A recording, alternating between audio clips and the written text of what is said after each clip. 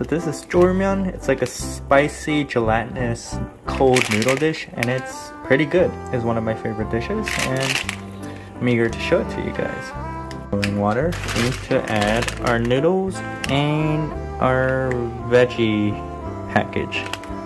And with that, this is day 18 of the ramen review, so let's cook this dish up. This ramen has thicker noodles and it is a cold noodle dish, so it is crucial that you cook the noodles all the way through because you can't rely on the noodles cooking once drained since you are rinsing it in cold water. So what I'm gonna eat with this, it's meat. I don't know if eating this with meat is the traditional way of doing it, but I like eating spicy noodles with meat. The perfect combination. So I got a ton of leftover meat.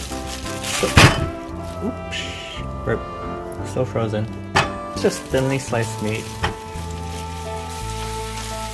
With that, I just fried up some leftover frozen meat in some oil and seasoned it with salt and pepper. Also, see my frying pan tossing skills?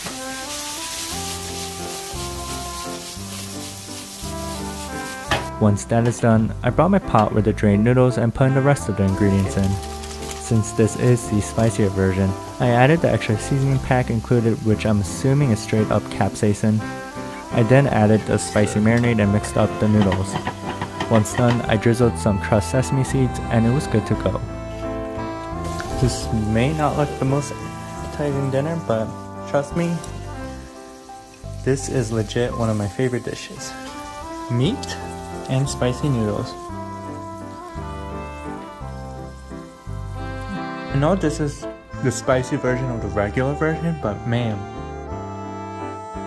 really is really spicy. Anyways, I would recommend this dish to anyone who likes spicy ramen or beef. Try them together and I guarantee this is your next favorite dish that you'll be cooking up daily.